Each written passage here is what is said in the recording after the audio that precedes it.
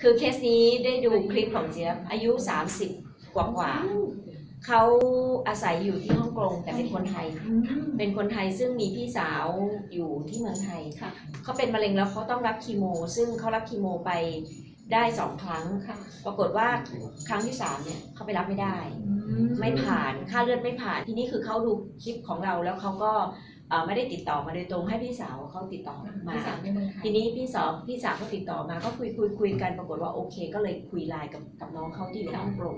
เราก็เลยแบบโอเคเราก็ให้คำแนะนำไปตามคลิปนู่นนี่นั่นอะไรเงี้ยแล้วก็บอกว่าเราจะพยายามทำให้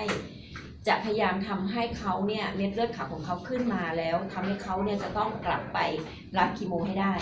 ก็เลยถามเขาว่า มีระยะเวลากี่วันจากวันนี้ที่จะต้องกลับไปหาคุณหมอในในในครั้งต่อไปที่คุณหมอนัดเขาบอกว่าวันนั้นวันที่วันนั้นวันที่ 11เขาจะต้องไปรับคีโมวันที่ 29 ฉะนั้นเขาก็จะมีเวลาอยู่เพียงแค่สิบแปดวันเออ18 วันเขาจะมีเวลาเขาได้รับของวันที่ 13 เสร็จแล้วเขาก็จะมีเวลาอยู่แค่ประมาณ 16 วันค่ะอ๋อ 16 วัน ฉะนั้นประเด็นก็คือเราก็บอกว่าเราจะทำให้เขาเนี่ยเม็ดเลือดขาวขึ้นเขาบอกพี่มันจะทันไหมค่ะเราก็บอกเราก็บอกว่าทันทันตามที่เราแนะนำแล้วกันค่ะเรารับรองว่ารับรองว่ารับได้แน่นอนเขาบอกโอเคงั้นพี่เราก็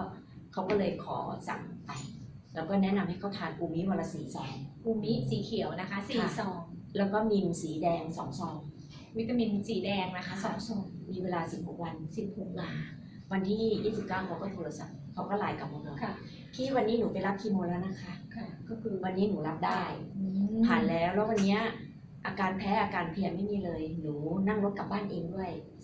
ประเด็นก็คือเขาก็เขาก็ได้ทานต่อทานต่อเนื่องต่อเนื่องต่อเนื่องก็ จนครบวันนี้ก็ประมาณ 20กว่าวันแล้วของเขาจะหมดเขาก็เลยมาสั่งค่ะ ให้เราส่งไปให้อีก แล้วเคสนี้คือเขาต้องรับคีโมทั้งหมดกี่ครั้งนะตอนนี้ที่คุณหมอบอกให้เนี่ยก็คือ 6 ครั้ง หกครั้งอันนี้ผ่านไปแล้วเขาสามก็กลัวครั้งเขาก็กลัวว่าเขาจะไม่ผ่านอืมเป็นเต้านมระยะสองก็คือทานดีใครก็อยากจะทานต่อใช่เราก็มีหน้าที่ทำให้คนอื่นมีความสุขนะคะโอเคช่วยช่วยๆกันทำคาดหวังว่าเคสนี้นะคะ ก็จะติดตามแล้วก็ค่ะเมื่อครบคอร์สแล้วนะเดี๋คะยวจะก็มาเล่าให้ฟังอ่าเดี๋ยวจะมาเล่าให้ฟังต่อนะคะสำหรับเคสมะเร็งเต้านมค่ะ